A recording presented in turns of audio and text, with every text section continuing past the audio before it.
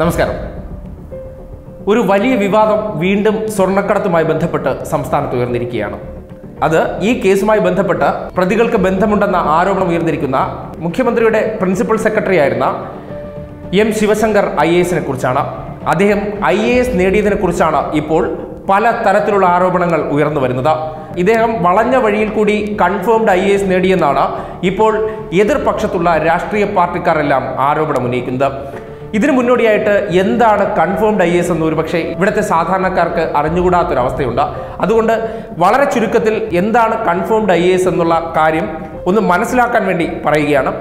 Confirmed I S സാധാരണഗതിയിൽ സർക്കാർ സർവീസിൽ ഇരുപത്തിയഞ്ച് മുതൽ മുപ്പത് വർഷം വരെ സർവീസ് പൂർത്തീകരിക്കാൻ കഴിയുന്നവർക്കാണ് പൊതുവെ ഇത്തരത്തിൽ കൺഫേംഡ് ഐ എസ് എന്ന സർവീസ് ലഭിക്കാൻ ഏറ്റവും കൂടുതൽ സാധ്യതയുണ്ടാകുന്നത്.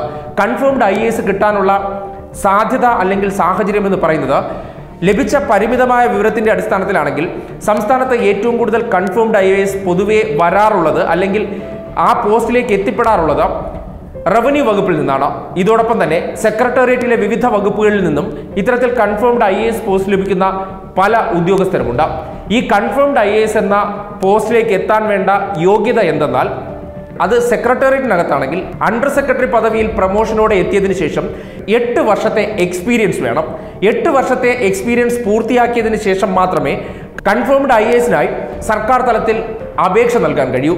ഇതോടൊപ്പം അത് റവന്യൂ വകുപ്പിലേക്ക് വരികയാണെങ്കിൽ ഡെപ്യൂട്ടി കളക്ടർ തസ്തികയിൽ എത്തിയതിനു ശേഷം എട്ട് വർഷത്തെ പ്രവൃത്തി പരിചയം വേണമെന്നതാണ് ഇതിന്റെ മാനദണ്ഡം. ഈ മാനദണ്ഡത്തിന്റെ അടിസ്ഥാനത്തിലാണ് സംസ്ഥാനത്ത് കൺഫേംഡ് ഐ എസിന് വേണ്ടി അപേക്ഷിക്കാൻ യോഗ്യരാകുന്നത്.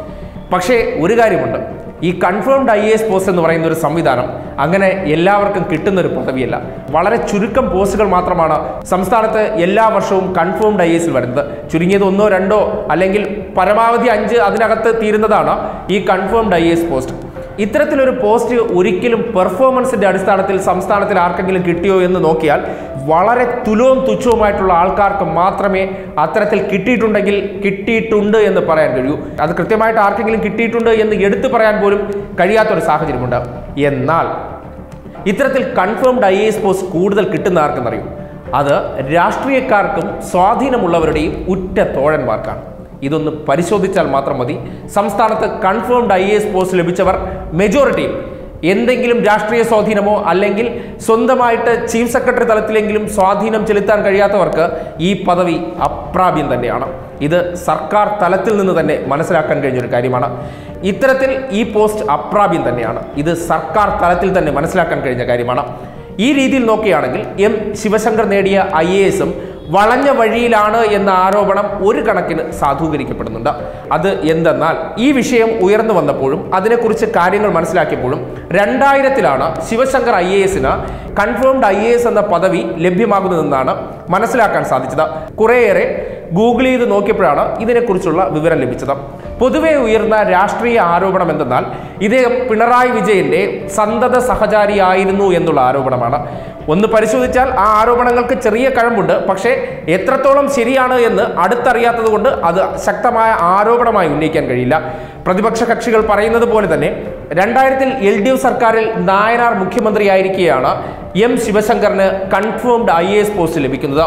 ഈ പോസ്റ്റ് അദ്ദേഹം നേടിയെടുത്തത് വഴിവിട്ട നിലയിലെന്നാണ് ഏറെക്കുറെ ആരോപണങ്ങൾ ഉയരുന്നത്. അതായത് മനസ്സിലാക്കാൻ സാധിച്ചിരിക്കുന്നത് ഈ രീതിയിലാണ്. രണ്ടായിരത്തിൽ കേരളത്തെ സംബന്ധിക്കുന്നിടത്തോളം അഞ്ച് കൺഫേംഡ് ഐ പോസ്റ്റുകൾ അനുവദിക്കാൻ യു തയ്യാറായി എന്നാണ് അന്നത്തെ കാലത്തെ രേഖകൾ വിശദമാക്കുന്നത്. ഇതിന്റെ അടിസ്ഥാനത്തിൽ സംസ്ഥാനത്ത് നിന്ന് പതിനഞ്ച് പേരുടെ ലിസ്റ്റ് സർക്കാർ കേന്ദ്രത്തിന് അയക്കാൻ തീരുമാനമെടുക്കുകയായിരുന്നു.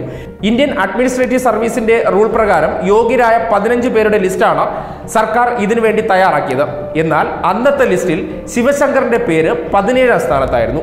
ഈ പതിനേഴാം സ്ഥാനത്ത് നിന്ന് അദ്ദേഹം രാഷ്ട്രീയ സ്വാധീനം ഉപയോഗിച്ച് പതിനഞ്ചാം സ്ഥാനത്തിലേക്ക് എത്തിയത് അന്ന് പ്രഗത്ഭനായ നടേശൻ എന്ന ഡെപ്യൂട്ടി കളക്ടറെ വെട്ടിയാണ് എന്നുള്ള ആരോപണം പരക്കെ ഉയരുന്നുണ്ട്. അതിൽ എത്രത്തോളം യാഥാർത്ഥ്യമുണ്ടെന്ന് കൃത്യമായ വിവരത്തിന്റെ അടിസ്ഥാനത്തിൽ വിശദീകരിക്കാൻ കഴിയില്ല. എന്നിരുന്നാൽ കൂടിയും മനസ്സിലാക്കാൻ സാധിക്കുന്നത് പതിനഞ്ചാമത്തെ പേര് നടേശൻ എന്ന ഡെപ്യൂട്ടി കളക്ടറിന്റെ പേരായിരുന്നു. ഇദ്ദേഹത്തെ അന്നത്തെ സർക്കാർ അഴിമതി ആരോപണത്തിൽപ്പെടുത്തി സസ്പെൻഡ് ചെയ്യുന്ന ഒരു സാഹചര്യമുണ്ടായി. ഇതിനുശേഷം പതിനാറാമനാണ് വീണ്ടും ലിസ്റ്റിലേക്ക് ഇടം നേടേണ്ടത്. എന്നാൽ അയാളെയും പല കാര്യങ്ങൾ പറഞ്ഞ് ഒഴിവാക്കി പതിനേഴാമനായിരുന്ന എം ശിവശങ്കർ ലിസ്റ്റിൽ ഉൾപ്പെടുന്നു. ഇതിനുശേഷം ചീഫ് സെക്രട്ടറി തലത്തിലെല്ലാം പരിശോധനകൾ നടത്തിയാണ് ഏറ്റവും യോഗ്യരായിട്ടുള്ള അഞ്ച് പേരെ കേന്ദ്രത്തിലേക്ക് നിർദ്ദേശിക്കുന്നതും അതിന് അപ്രൂവൽ ലഭിക്കുന്നതും.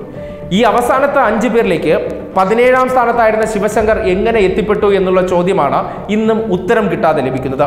ഇതിനു പിന്നിൽ അന്നത്തെ മന്ത്രിസഭയിലെ വൈദ്യുതി മന്ത്രിയായിരുന്ന പിണറായി വിജയന്റെ കരങ്ങളുണ്ടെന്നാണ് പൊതുവെ പ്രതിപക്ഷ കക്ഷികൾ ആരോപണം ഉന്നയിക്കുന്നത്.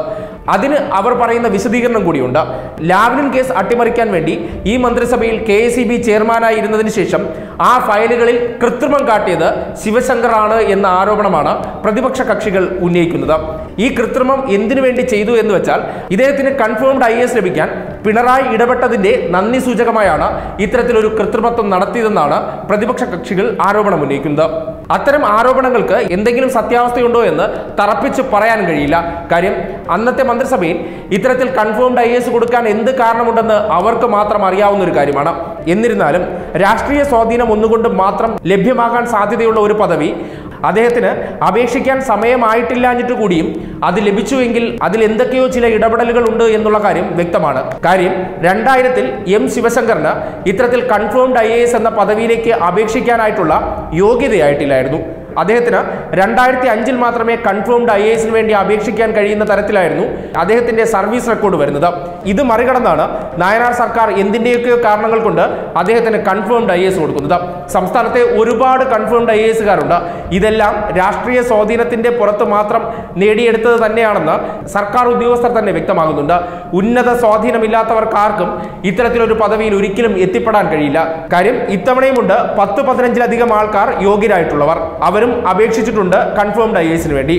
എന്നാൽ ചീഫ് സെക്രട്ടറി തലത്തിലും മന്ത്രിസഭാ തലത്തിലും ഏറ്റവും അവസാനം നടത്തുന്ന ഇടപെടലുകൾക്ക് ശേഷമാണ് യു പി എസ് സിയിലേക്ക് ലിസ്റ്റ് അയക്കുന്നത്.